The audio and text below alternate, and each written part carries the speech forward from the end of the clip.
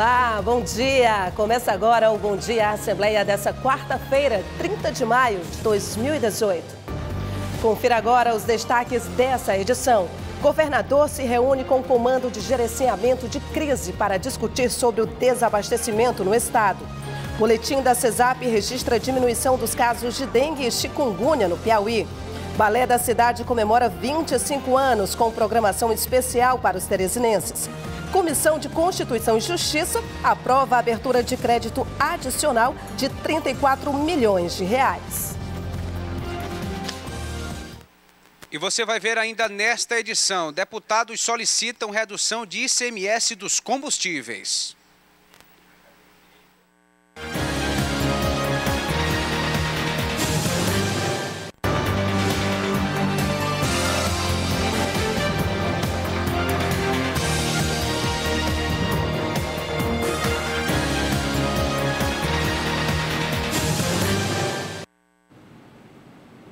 Vamos às notícias do Parlamento Estadual com Eliezer Rodrigues, que está na Assembleia Legislativa.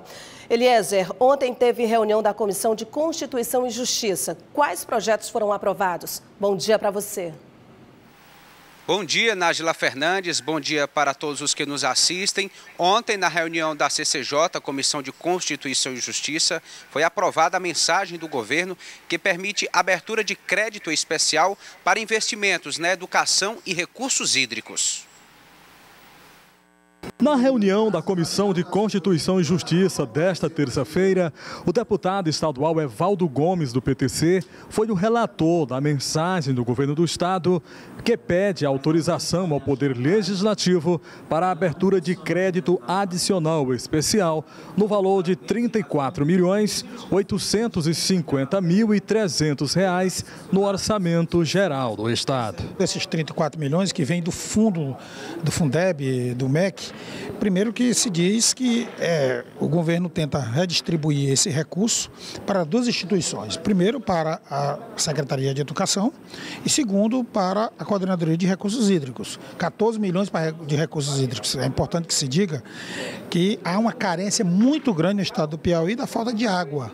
Ou seja, a população, especialmente do sul do estado, carece muito é, de postos tubulares, para suprir a necessidade da falta de água. Então, o governo, pensando nessa, nessa, nessa, nessa dificuldade que passa a população piauiense, colocou, remanejou esse recurso, que vem do MEC, para a 14 milhões desses 34 milhões para a Coordenadora de Recursos Hídricos e 20 milhões para a Secretaria de Educação para ser investido na educação é, do Estado do Piauí. O deputado Firmino Paulo, do Progressistas, foi o relator da mensagem do governo do Estado criando o Fundo Estadual de Segurança Pública. Esse fundo irá arcar, conseguir recursos, recursos para que possamos investir cada vez mais na Secretaria de Segurança Pública e na Secretaria de Justiça.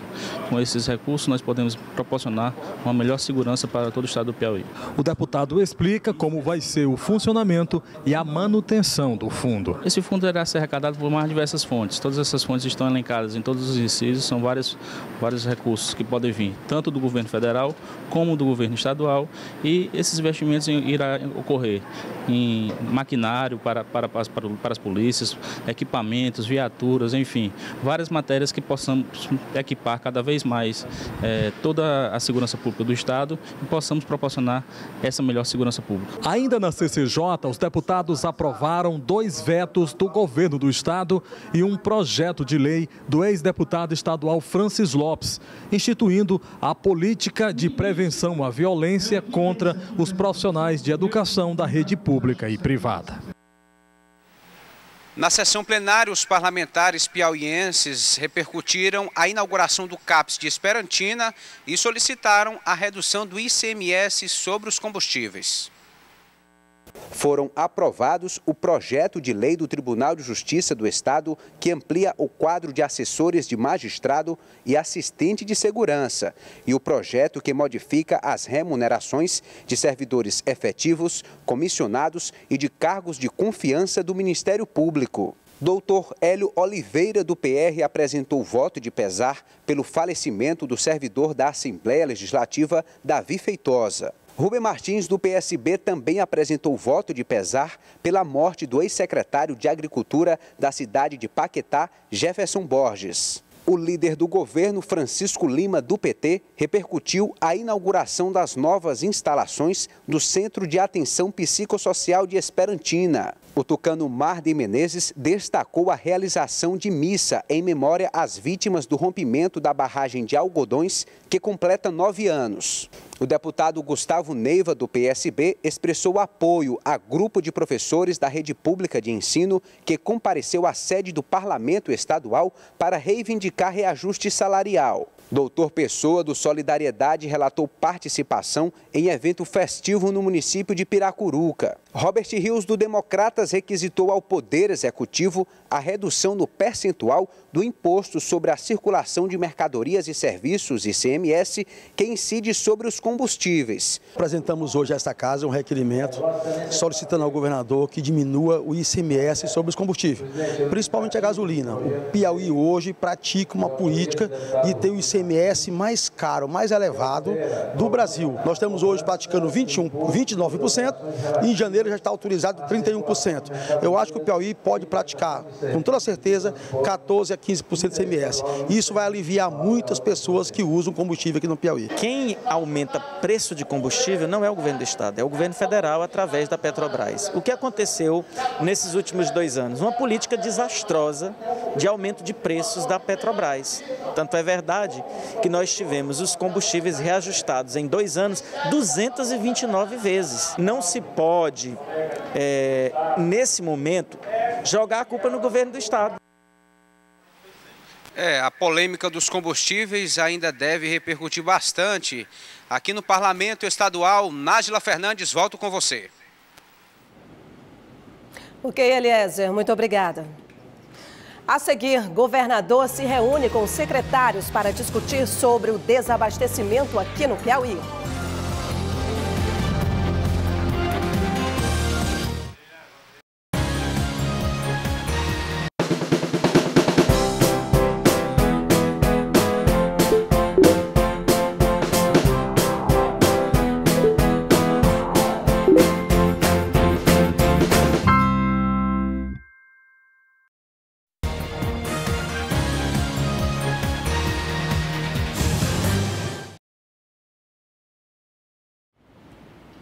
Devido à greve dos caminhoneiros, o governador Wellington Dias, gestores de diversos órgãos e o Comando de Gerenciamento de Crise se reuniram no Palácio de Karnak para discutir ações emergenciais para resolver a situação diante dos problemas de desabastecimento.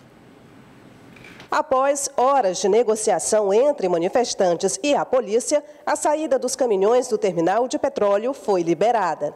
De início teve uma certa dificuldade porque eles se intitularam povo, mas não tinham uma, uma, uma, coesão, uma organização com relação a quem falaria, a quem conversaria com a gente. E com o passar do tempo isso foi se organizando até que se chegou numa comissão né, formada por eles, ele mesmo tiver essa iniciativa, e daí para frente a gente pôde desenvolver essa negociação com foco em garantir principalmente o abastecimento de postos para manter serviços essenciais no Estado, foi criado o Comando de Gerenciamento de Crise, que apresentou ao governador Wellington Dias, nesta terça-feira, ações e soluções já vistas. Eu venho acompanhando desde o primeiro dia, criamos aqui um grupo de trabalho e agora qual é a, a orientação? A orientação é voltar à normalidade, ou seja, é, já ontem nós tivemos a desobstrução construção ali do terminal de petróleo. É, mais de 200 carretas já é, viajaram para todas as regiões do estado, fazendo a regular, regularização do abastecimento é, dos postos, municípios onde a gente tinha é, problema. A orientação é centrar é, naquilo que é essencial à vida: alimentação, saúde, oxigênio, ou seja, tudo aquilo que é necessário ao ser humano. O Piauí é um dos poucos estados onde os serviços nos hospitais foram mantidos. A preocupação é direcionada aos atendimentos de transferências intermunicipais do SAMU. A ausência de combustível, combustível em várias cidades não permitiu que o SAMU fizesse transferências intermunicipais em alguns municípios. Mas esse, esse problema tende a ser resolvido já que ontem, em razão de um acordo com o movimento paredista e com a atuação da Polícia Militar, foi possível fazer a abertura do terminal é, de petróleo. Isso efetivamente viabilizou que fossem é, despachados para as, os vários municípios, para praticamente todos os municípios do litoral e do interior, é, caminhões, tanque, para que pudesse assim, abastecer novamente os postos de gasolina e, consequentemente, o setor da saúde e o setor dos serviços essenciais. Na reunião do Comando de Gerenciamento de Crise com o governador, o presidente da Assembleia Legislativa, Temístocles Filho, e outros deputados também estiveram presentes. Estamos num processo de normalização de uma situação que foi muito difícil para toda a sociedade. Serviços essenciais estiveram em risco. Então a gente vê com muita alegria né, o diálogo, a capacidade de convencimento que o governo do Estado, através da Secretaria de Segurança, teve em dialogar e mostrar a necessidade desses serviços continuarem é, à população de todo o estado do Piauí. A orientação do governador é para que a gente possa primeiro proteger a vida, independente de qualquer seja. Então, alimentação, medicamentos, é, produtos de interesse que possa limitar atendimentos médicos, odontológicos, então a gente precisa segurar. Então, acho que é, mesmo não estando fora de risco, mas há um retorno à normalidade e que, de um modo geral, no Piauí, as coisas talvez estejam bem melhores do que em outros estados, né, se é, comparando aí com esse movimento nacional. Com o desabastecimento dos combustíveis, alguns comerciantes se aproveitaram da crise para fazer cobranças abusivas. Entre os produtos, o gás de cozinha e o combustível que era possível encontrar nos postos. Mas o Ministério Público está de olho e já deu início a uma fiscalização. O Ministério Público tem atuado, tem, está de prontidão em todos os, em todos os setores, saúde, consumidor, não é? nós estamos realmente acompanhando a questão da crise dos combustíveis. Para o governador Wellington Dias, a missão de fazer com que os serviços públicos sejam garantidos vem sendo feita.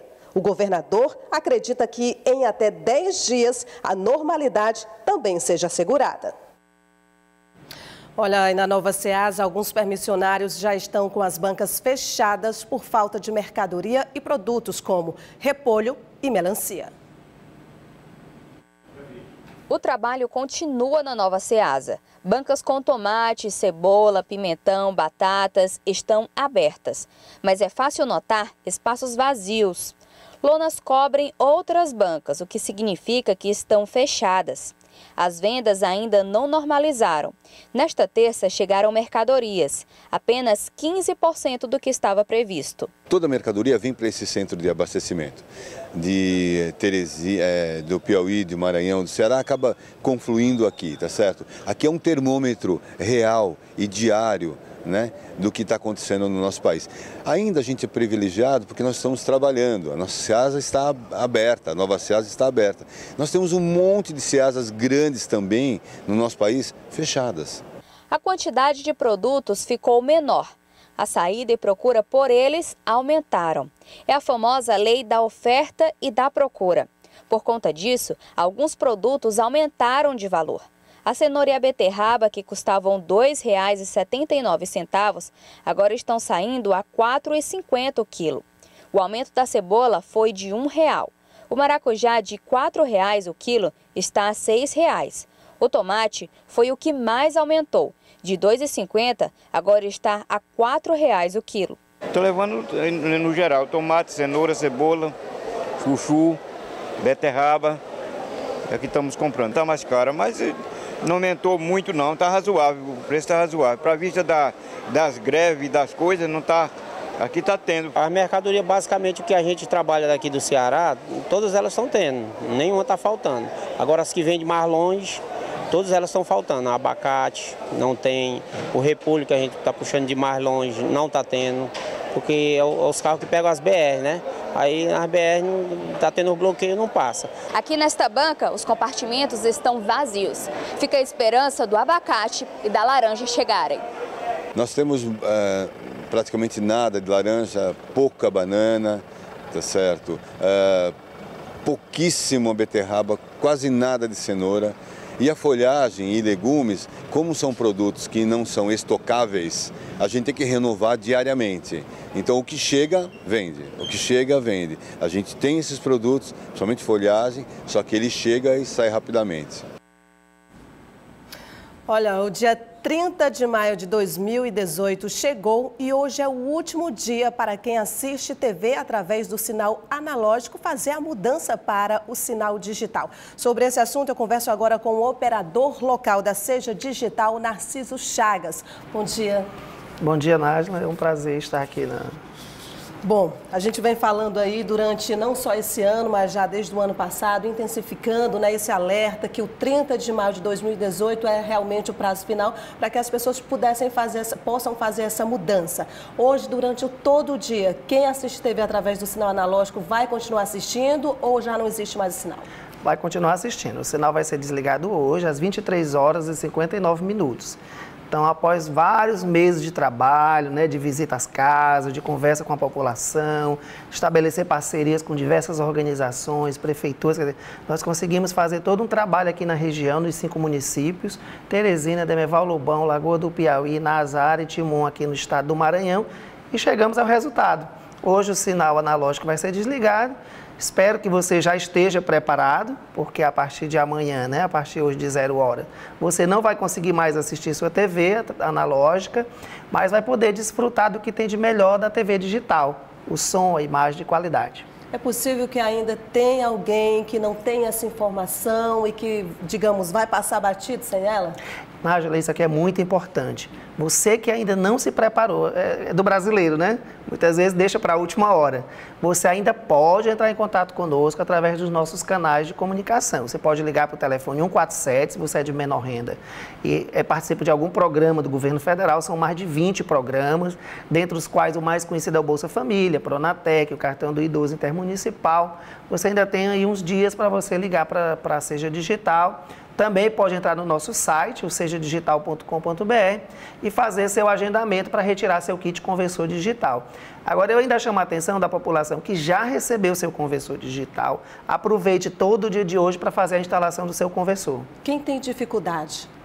É, nós observamos ao longo desses meses né, que algumas pessoas tiveram dificuldades de fazer a instalação. Não dificuldade técnica, porque na verdade o procedimento é muito simples. Até no momento em que as pessoas recebem seu conversor digital, elas recebem um treinamento. Agora, é importante que se você tem alguma dificuldade, procure alguém que já fez a instalação, seu vizinho, né, entre em contato com um especialista, um, um, um antenista que possa lhe ajudar. Eu acredito que é muito válido a gente lembrar aqui todo esse trabalho que a Seja Digital tem feito, porque vocês realizaram diversos agendamentos, foram é, nas casas, andaram ruas, justamente batendo inclusive nas portas, tentando auxiliar essas pessoas que tinham dificuldade ou que não tinham a informação de que realmente o dia de hoje era o prazo final. Exatamente. Eu estou muito feliz e toda a nossa equipe, porque nós chegamos a esse resultado muito positivo, né? Hoje no desligamento do sinal, conversamos com tantas pessoas, orientamos, levamos essa informação porta a porta, agradecemos inclusive a parceria das TVs locais, das rádios locais, dos meios de comunicação locais que foram muito importantes, levando essa informação para a população. Mas o importante nesse momento é chamar a sua atenção de você que ainda não está preparado para o sinal digital, se, preparar durante todo o dia de hoje, né? Você que vai precisar comprar seu kit conversor digital. O mercado aqui, comércio, nos comércios locais estão preparados, estão com kits conversores digitais disponíveis que variam entre 100 a 150 reais. E você que é de menor renda, ainda tem a oportunidade de ligar para nós através do 147 ou entrar no site sejadigital.com.br. Agora, é um momento de alegria, de celebrar esse momento, né? Hoje, a partir de meia-noite, o sinal desligado som e imagem com muito mais qualidade. Aí, sem dúvida, as pessoas que já estão é, desfrutando da qualidade do sinal digital têm nos relatado experiências fantásticas, né? Principalmente aquelas pessoas que têm TV de tubo, aquela TV mais antiga, e que eu descobri ao longo desses meses que as pessoas têm um vínculo com essa televisão, né? Elas têm um vínculo afetivo, de cuidado, não querem se desfazer dela e nem precisa. Às vezes já vem da mãe, do pai, Exatamente, até fez um esforço no bolso, né? Teve que apertar de um lugar do outro para comprar sua TV e não precisa se desfazer dela. O que você vai precisar é comprar o kit conversor digital, caso você não seja beneficiado de nenhum programa do governo federal, e sendo, você ainda pode receber gratuitamente. Basta ligar para o telefone 147, é, informando o número do NIS ou o número do seu CPF, ou entrando no site sejadigital.com.br. O importante, gente, é garanta a sua participação agora no sinal digital. Vamos lembrar que além de Teresina, vem o que? Nazária, que é onde o sinal será Nazária, desligado. Nazária, Demerval Lobão, Lagoa do Piauí, que é a nossa cidade irmã, Timon, aqui vizinho. Ok. E no restante do estado, já tem uma data certa para que esse sinal também seja desligado? Nós seguimos um cronograma da Anatel, né? Nesse momento nós estamos desligando em sete é, cidades, aqui na, em sete estados, aqui na nossa região. São cinco municípios na região de Teresina e, posteriormente, o Piauí com certeza terá outras regionais em que serão desligados o sinal analógico. O, o, engraçado, é, Narciso, é que há, há, uns dois anos atrás, claro que a gente já ouvia falar nessa questão do, do, do, desligamento do sinal analógico, mas a gente não conseguia imaginar, ah, esse dia realmente vai chegar. Parece que estava tão distante e realmente chegou. É verdade, parece algo muito longe, né? Mas é importante relatar aqui que alguns países já fizeram 100% a digitalização, como por exemplo os Estados Unidos, a China, o Reino Unido. A meta brasileira é até 2023, ou seja, até lá todos os municípios brasileiros, todas as residências serão totalmente digitais. E o importante é que na nossa região, a partir de hoje à noite, né, a partir das 21, 23 horas e 59 minutos, portanto, toda a nossa região vai beneficiar isso, mais de um milhão de pessoas aqui da nossa região, seremos totalmente digitais e vamos desfrutar do que tem de melhor. A TV é muito importante nas nossas vidas, né? Com Veja certeza. que a importância desse jornal, da programação da TV Assembleia, que leva de informação, de cidadania, de entretenimento nas nossas vidas, na vida das pessoas. E quantos estão aqui hoje, né, nesse momento, assistindo aqui a programação. Então é importante que você que está nos assistindo leve essa informação para as outras pessoas. Utilize suas redes sociais, seu WhatsApp, seu Facebook e leve essa informação para a sua comunidade. Ok, só para encerrar, 147 é o número para qualquer dúvida. 147 ou o site sejadigital.com.br.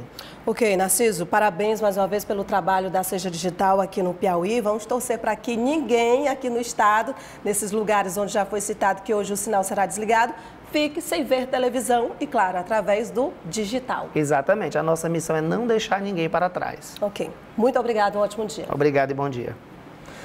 A seguir, boletim da CESAP registra diminuição dos casos de dengue e chikungunya aqui no Piauí.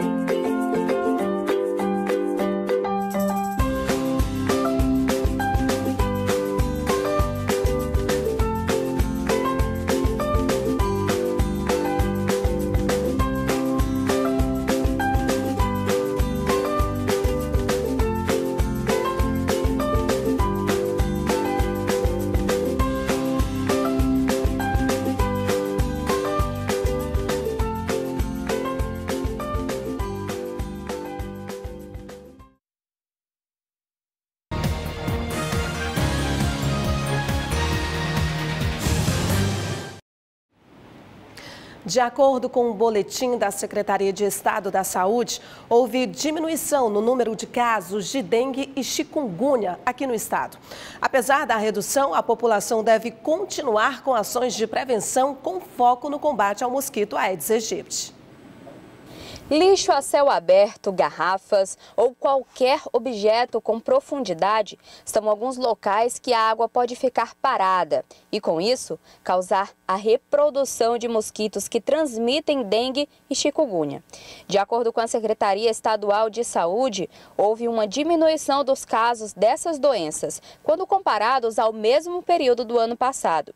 De janeiro a maio deste ano, foram confirmados exatamente 584 casos de pessoas com dengue, uma redução de 64,7% comparados a 2017. Já chikungunya, neste ano, já foram 190 casos, redução de 82% a 2017. Isso se dá a, a vários fatores, né? A própria redução de, de, mosquito, a própria a incidência do momento do, do vírus circulando, né? Nós, no momento, nós não sabemos que vírus está circulando. E a susceptibilidade, né? Algumas pessoas podem já ter adoecido do vírus que está circulando e não está manifestando a doença.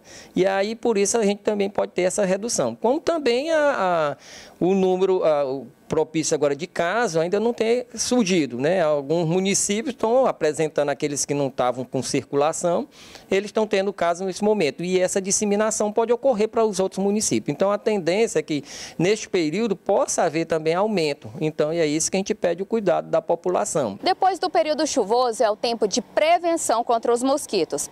A água parada pode ser foco para muitas doenças, como a dengue. Terrenos baldios, como esse podem ter vários criadouros. Esse foco de água podem ser encontrados mais de 200 ovos de mosquito. Esse momento é um momento de proliferação dos mosquitos em razão do próprio clima. É, acaba as chuvas, mas ainda há criadouros ainda no domicílio. E muitos desses mosquitos se reproduziram também no período em terrenos baldios, e ainda tem essa continuidade dele né, proliferando é, com a sua densidade vetorial. Então é o momento da gente ter esses cuidados agora com é, vasilhas, com depósito, procurar evitar esses criadores de casa, mesmo com as águas que eles guardam para consumo humano, mas tampar direitinho, evitar que o mosquito se reproduza. Vamos falar novamente com Eliezer Rodrigues, que está na Assembleia Legislativa. Eliezer, vem aí o primeiro Congresso Internacional de Trauma. Qual será o tema desse evento? Olá, mais uma vez bom dia para você e para todos os que nos assistem. Nájila, o tema vai tratar acerca da assistência que é prestada a pacientes acidentados, especialmente que precisam é, de todo um acompanhamento relacionado à área de trauma. É o primeiro congresso internacional que acontece no estado do Piauí. E nós estamos recebendo no Bom Dia Assembleia de hoje o médico cirurgião Edilson Carvalho, que é presidente desse congresso, tem estado à frente, doutor Edilson, da organização. Seja bem-vindo, bom dia. Qual o objetivo de trazer um evento dessa dimensão para o estado do Piauí? Bom dia, Eliezer, bom dia, telespectadores da TV Assembleia. Na verdade, a ideia do Congresso Internacional de Trauma é, surgiu da necessidade de trazer as inovações que acontecem no atendimento do trauma. Nós sabemos que o trauma é um problema de saúde pública. É, no ano passado, em 2017, houveram em torno de um milhão de acidentes no Brasil isso levando a 41 mil mortes. Então o problema é um problema grave está ceifando a vida do, principalmente dos jovens né, motociclistas brasileiros e levando uma perda não só econômica, mas uma perda social muito importante. Então uh, esse congresso que tá, é uma parceria do Hospital São Marcos com o Hospital de Trauma de Berlim está trazendo como enfoque principal o atendimento em rede do paciente politraumatizado. É, nós sabemos que o HUT, com a sua capacidade, ele faz um maravilhoso serviço de atendimento. O problema é que o HUT não suporta que todos os pacientes traumatizados, politraumatizados, sejam encaminhados àquela unidade hospitalar. Então, o atendimento em rede, que é o foco principal desse congresso, uh, os colegas alemães estão trazendo o um modelo europeu de atendimento, onde ocorre a descentralização do, do atendimento do paciente quando ocorre o acidente, onde ele fortalece os hospitais regionais para que sejam aprimorados, apropriados e para que ele ocorra a, a, a o atendimento do, desse paciente na primeira hora. Pois, Eliezer, o paciente que sofre o, o politraumatismo, ele precisa ser atendido logo na primeira hora, porque é a primeira hora que faz com que o paciente ou ele morra né, após o acidente ou ele tenha a vida salva. E onde ocorre a diminuição das sequelas também. Então não adianta o paciente, por exemplo, que sofreu um acidente lá em Parnaíba e vai ser feito o, o traslado desse paciente aqui para o hospital, o HUT, porque ele vai perder tempo de atendimento. Então, Interessante, doutor Edilson, que esse atendimento não deve ser feito apenas por um ortopedista. A primeira associação é com ortopedista, mas na verdade o atendimento envolve uma equipe multiprofissional. Exatamente. O politraumatizado é um paciente complexo, né? Ele precisa de uma equipe multiprofissional. Além do médico, nós temos os socorristas, né, que são enfermeiros, e a parte de reabilitação através da fisioterapia e outras especialidades. E o atendimento desse paciente precisa ser feito, como eu estava falando, na primeira hora, porque é na primeira hora que o paciente ou ele morre ou ele tem a vida salva. E as sequelas que, que ele vai levar para o resto da vida. Então eu convido a todos para que é, façam presente amanhã, a partir das 9 horas, lá no, no Hotel Arrei, é, onde vai ser a abertura do evento, com a participação de todas as autoridades, desde representantes do Ministério da Saúde, da CESAP, que é um dos nossos apoiadores, da Fundação Municipal de Saúde, atra, é, é, através do Dr. Silvio Mendes, que está também é, é, nos apoiando nessa, nessa, nesse congresso. Tá? e também na, na, da Caixa Econômica Federal. Então, convidamos a todos para que façam-se presente e assistam pelas mídias, porque infelizmente não temos mais vaga. As 400 vagas que nós abrimos para para o público foram logo é, fechadas, né? É, mostrando que esse é um tema bastante importante e com certeza precisamos de outros eventos para que a gente, que a gente possamos é, é, melhorar a qualificação do atendimento do paciente politraumatizado. O que caracteriza esse atendimento em rede? O atendimento em rede ele se faz é, através de, uma, de, de, de, hospitais regionais com um hospital de referência. Por exemplo, é, nós temos aqui o nosso hospital de referência, é o HUT. Né? Então, o HUT ele recebe pacientes que são triados do interior. O que acontece é que, infelizmente, muitos pacientes chegam no HUT são pacientes que não precisariam estar no HUT.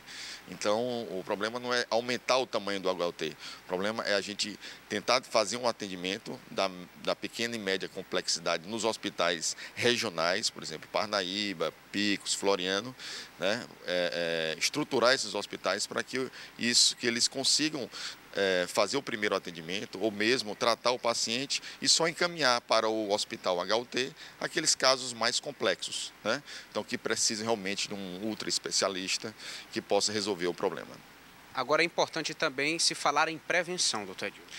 É, a prevenção em tudo, principalmente na área de medicina, né, na área de saúde, é o que realmente resolve o problema. E nós sabemos que o problema do, do do, do acidente, né, envolve não só o atendimento, né? Então nós vimos que desde 1995 é obrigatório por lei o uso do capacete.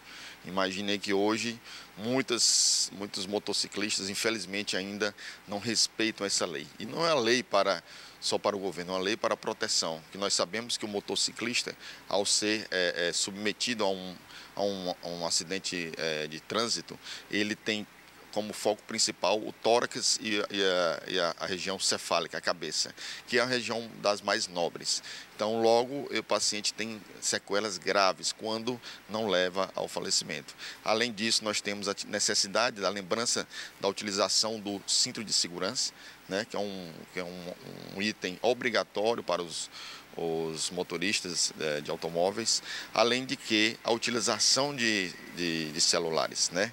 Nós sabemos que há, houve um aumento muito grande de, de, de trânsito, né? de acidente de trânsito, por conta da utilização dessas, desse tipo de comunicação que acaba perdendo o foco do, do, do motorista em, em, relação ao que acontece é, na via pública. As maiores vítimas ainda são jovens, em idade reprodutiva, em plena força de trabalho? É excelente pergunta, Eliezer. Infelizmente são. Né? É, a maioria, principalmente na nossa região aqui do Piauí, interior do Piauí, houve um aumento muito grande da, do, do, número de motos, né? E os as motos normalmente são, são guiadas, né, por pessoas jovens, às vezes até menores, né? E que quando são submetidos a, a, a traumas, eles quando não falecem, né, não vão a óbito, eles ficam com sequelas. E essas sequelas levam a um problema social muito grande, que além dele perder a oportunidade de estar no, no, no no campo de trabalho ele sobrecarrega o sistema de previdência social. Né? Então são pacientes jovens que além de não estar traba estarem trabalhando, eles estão sobrecarregando o serviço de previdência através das aposentadorias que eles por acaso vão ser necessários. Tá aí então, muito obrigado, doutor Edilson Carvalho, médico cirurgião, presidente do primeiro Congresso Internacional de Trauma, que acontece a partir de amanhã e vai até sábado aqui no estado do Piauí. Nájila, eu volto com você. Ok, Eliezer, muito obrigada. A seguir, incêndio atinge o hotel Blue Tree Towers Rio Poti e assusta hóspedes e funcionários.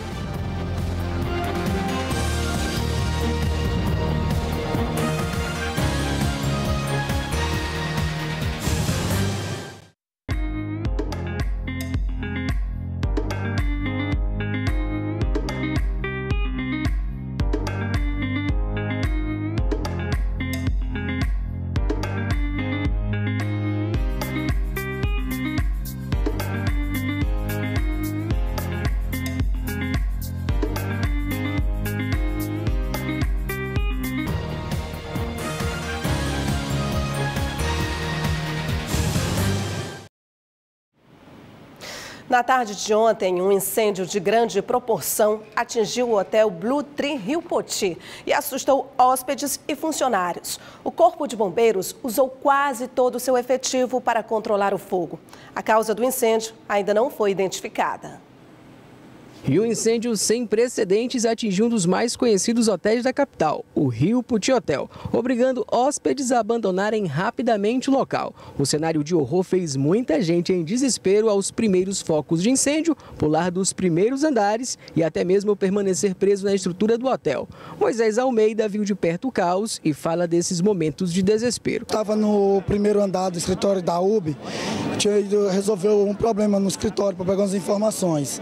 Quando eu desci e fui logo pro meu carro, vi aquela catinga de fumaça. Quando eu olhei para cima do hotel, já estava se alastrando fogo lá em cima.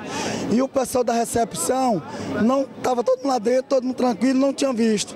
Aí foi na hora que eu corri para a recepção, avisei todo mundo, para todo mundo sair e perguntei se tinha algum cliente nos quartos. Mas eles ficaram tão apavorados que não souberam dizer se tinha alguém ou não. Aí foi na hora que eu corri aqui para frente, aí o pessoal, como não tinha saída para lá, que o, o fogo já tinha alastrado, aí tava aí o pessoal aí. Provavelmente pode ter havido, em tese, uma falha no sistema preventivo de combate contra incêndio da própria edificação. A questão é que se o sistema preventivo estivesse funcionando, as primeiras ações operacionais do próprio sistema ativo né, é, poderiam estar controlando esse princípio de incêndio, ou pelo menos minimizando a propagação até a chegada das equipes especializadas. Ao todo foram resgatados dois operários que estavam presos na área externa e outra vítima que, segundo o balanço parcial do Corpo de Bombeiros, teve apenas fraturas. Está muito difícil o acesso lá devido à grande quantidade de fumaça e a temperatura que está bastante elevada ainda.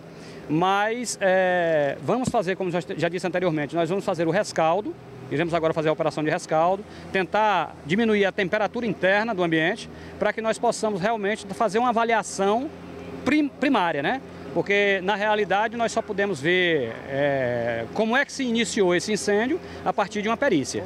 Tanto funcionários quanto hóspedes ficaram presos, mais de seis viaturas do Corpo de Bombeiros permaneceram no local e uma grávida que estava presa na sacada foi resgatada e recebeu os primeiros atendimentos ainda na parte externa do hotel. Júlio mora no prédio ao lado e conta tudo sobre essas primeiras horas de completo pesadelo. O assessor parlamentar não hesitou em acionar os bombeiros. Me deparei e foi com fogo. Aí descemos do prédio para poder socorrer as pessoas.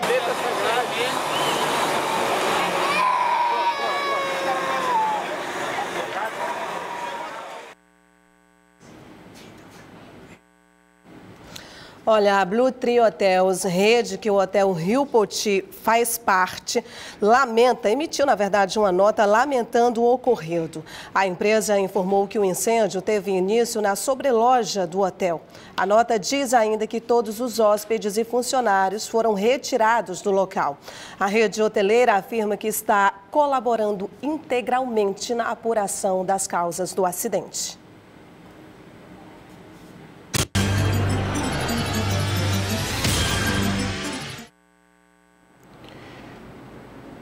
Bom dia.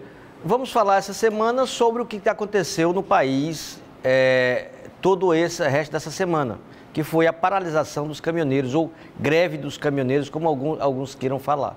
Isso causou um transtorno e um desabastecimento em, todos, em toda, toda a nação, que no nosso estado do Piauí. Pois bem, isso prova, mais uma vez, a nossa vulnerabilidade com relação ao sistema modal rodoviário. Tudo que é transportado no país é pelo sistema rodoviário, algo em torno de 62%. Ferroviário 20 e pouco, aquaviário e o sistema aéreo. Então, isso, o que, que isso como tem como consequência? Tem como consequência a política, a falta de política de investimento é, nos, nos sistemas modais da nossa nação. E isso provocou, por consequência, é, digamos assim, esse desabastecimento. Até porque o governo não estava preparado para que essa greve chegasse a esse patamar. E chegou a um patamar que causou aí esse, esse, todo esse transtorno que está acontecendo e vai acontecer até o resto da semana. O governo federal tomou medidas, redução da PIS/COFINS, a, a, a, extinção da CID, e aí cabe aos governos estaduais, através da CONFAS, que é o Conselho de Fazendário, tentar diminuir a alíquota aí do ICMS para atender, em parte, as reivindicações dos caminhoneiros. O que é bem da verdade é que isso mostra a nossa vulnerabilidade com relação à questão do modal e mostra também a excessiva carga tributária que está assolando, que assola o país, em torno algo de 32%. O que causou todo esse transtorno foi a diminuição do lucro, principalmente do lucro das transportadoras e dos caminhoneiros autônomos. Causa prejuízo todos os setores, depende de segmento. Por exemplo, setor de, de, indústria animal, de consequência do alimento animal, indústria têxtil, indústria da construção civil, tudo isso está chegando aí algo em torno de mais de quase 8 bilhões de reais por dia de paralisação que aconteceu. Causa transtorno, porque consequências que podem advir, principalmente agora que nós estávamos saindo de um recesso e entrando, por exemplo, no, no, no digamos assim, no no rendimento e no andamento da nossa economia. Veio paralisar e isso traz como consequência a arrecadação, traz como consequência o atraso e também como consequência a demissão e não a geração de mais empregos, principalmente para o país que tanto necessita. O que é, é, é na verdade, que nós precisamos bem ressaltar é que o governo federal precisa, mais uma vez, apoiar em políticas de investimento de sistema de modal. Segunda questão, diminuir a excessiva carga tributária, como também é, tentar melhorar. O que é que nós vimos hoje? A questão da greve dos caminhoneiros, depois vem a Copa do Mundo, depois vem a eleição, sentido que a nossa economia precisa crescer pelo menos um dígito, algo em torno de 1 a 2% do PIB, para que nos, nos, próximos anos a gente comece, pelo menos, a gerar os empregos necessários, a melhorar a arrecadação e, consequência, dar o giro da nossa economia. Até a próxima quarta-feira com mais um programa de economia aqui na nossa TV Assembleia. Um bom dia a todos.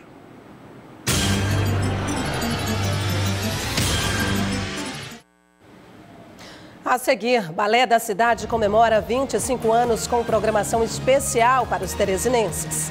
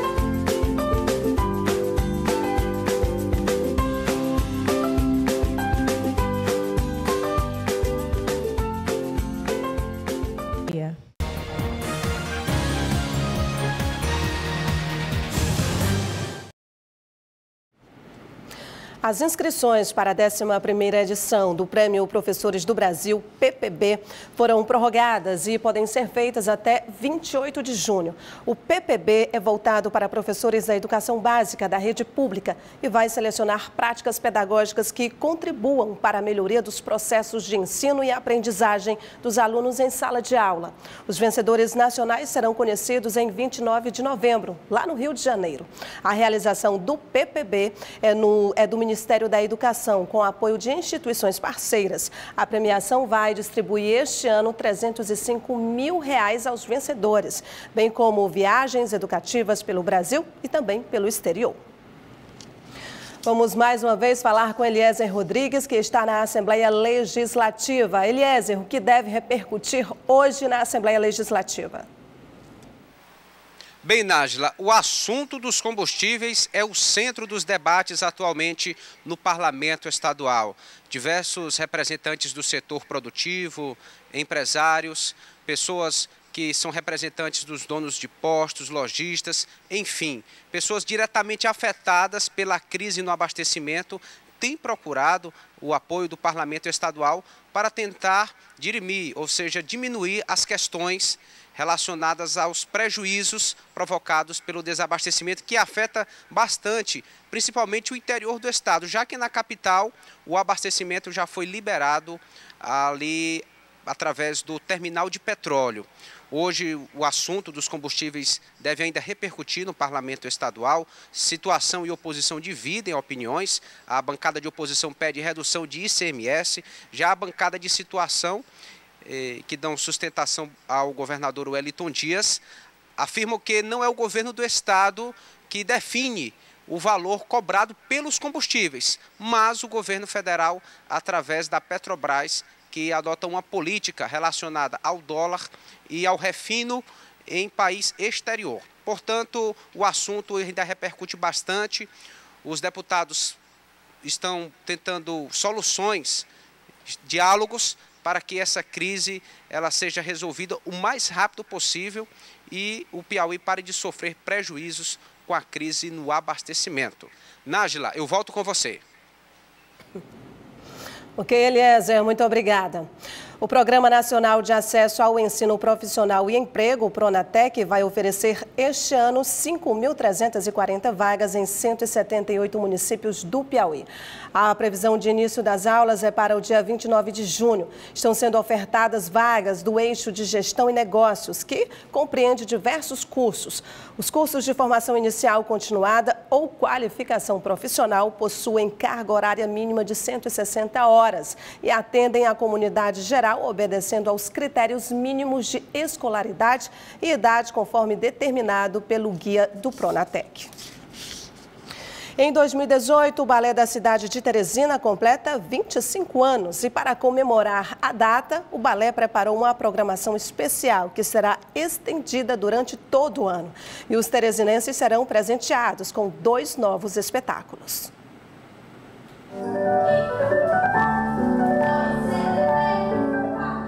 Os passos suaves e poéticos dos bailarinos são traços marcantes dessa companhia, que há 25 anos contribui para o desenvolvimento da dança na região. Assim é o Balé da Cidade, que vem construindo sua história e inspirando muitas gerações. Exemplo disso é Iris Mesquita, que desde criança acompanhou o trabalho da companhia e há um ano realizou o sonho de ser profissional da dança no principal grupo da cidade. Sempre prestigiei o Balé da Cidade, né?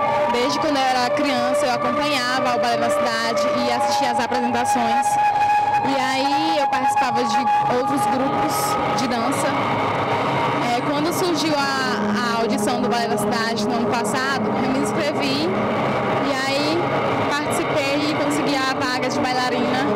Fiquei super feliz. A dança é uma coisa assim que eu acho que eu, desde quando eu nasci, já era para ter sido isso, né? Bailarina trabalhando, um trabalho com muita dedicação aqui no Balé da Cidade, tem que trabalhar com muita dedicação, né? E, e para levar para a vida. Qual é o maior sonho? Meu maior sonho é continuar com a dança, estudar a dança, crescer com a dança. Eu não quero desistir da dança.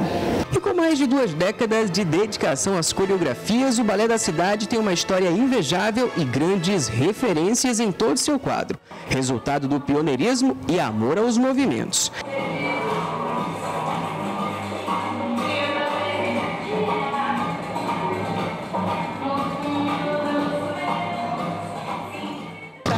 Ano inteiro cheio, lotado de apresentações, de processos, de parcerias e tem muita coisa boa vindo aí. Acabamos de estrear um trabalho chamado Absolutas e vamos estrear um outro agora no aniversário que se chama Casca, de dois bailarinos da companhia. Um foi o, Samuel Alves com Absolutas o segundo agora é Casca de Adriano Abreu. São 25 anos. O tanto de coisa que já passou, o tanto de pessoas que já trabalharam, o tanto de trabalhos. Na nossa contabilidade, a gente tem mais de 50 trabalhos que já passaram pela companhia. E atualmente no repertório tem uma faixa de umas 14. E aí, assim, a gente tentou resgatar um todo, que é o aniversário, o aniversário para a cidade. Então, a gente vai tentar mostrar o máximo de trabalhos que a gente tem possível. A Casa Cultura tem algo de, de muito bom, porque a orquestra era aqui, daqui foi para o Palácio da Música, o balé veio do Teatro do Boi para cá, a casa, o, o, balé faz 25 anos, o ano que vem é a Casa da Cultura. Então, eu acho que a casa, ela, ela exerce esse seu papel. Isso aqui respira arte. Assim, eu não estou, eu, eu, como convivo muito aqui, aqui é um encontro, aqui tem uma questão sentimental com os artistas. Então, e no que tange a história do balé, grandes diretores passaram por aqui, passaram pelo balé e depois montaram as suas companhias. O Cid, a Luzia Amélia, o Roberto, os outros bailarinos que continuam dando aula aqui na Casa da Cultura, o Fernando Freitas e assim tantos outros. São inúmeras as histórias de sucesso da companhia. Gente que viu no próprio corpo o amadurecimento artístico. Carla cresceu junto ao Balé da Cidade, exercendo várias funções. Iniciou como bailarina e hoje é ensaiadora. Fui bailarina em 95, né, em 2000, até 2006. É, trabalhei profissionalmente e depois eu saí, voltei como ensaiadora depois de dois anos eu é, entrei na direção, passei dois anos na direção, saí e voltei novamente como ensaiadora. O que representa fazer parte desse, desse grupo? Olha, representa tudo para mim, né? porque a dança é a minha profissão, o que eu escolhi. É, é, toda a minha vida, toda a minha trajetória está voltada para isso. Né?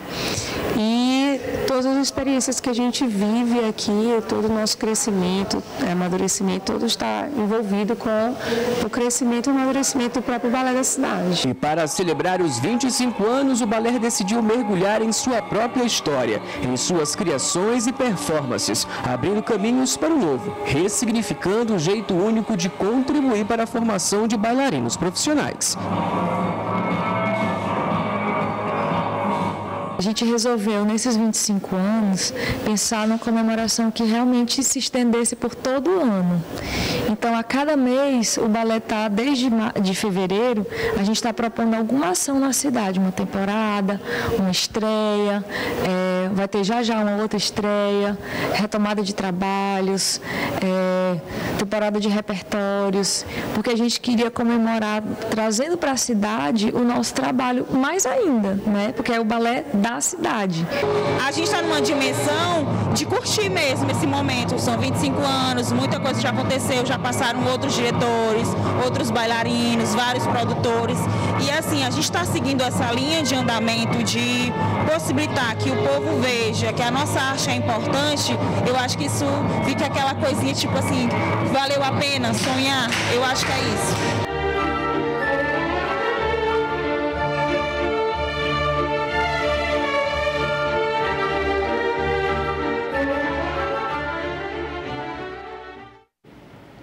Lembrando que você pode acompanhar também a nossa programação através das TVs a cabo, na NET, no canal 7, na Sky HD, no 316.1.